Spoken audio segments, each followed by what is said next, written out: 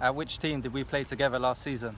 Go to vitesse.nl forward slash training camp and answer.